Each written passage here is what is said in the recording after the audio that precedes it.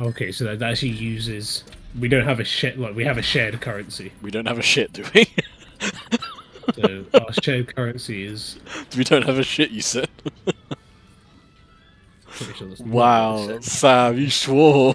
Oh no, I'm telling your mummy, and I'm gonna clip that. Send it to your employer. Shame on you.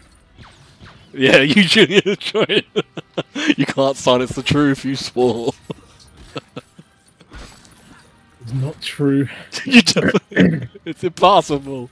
It's not true.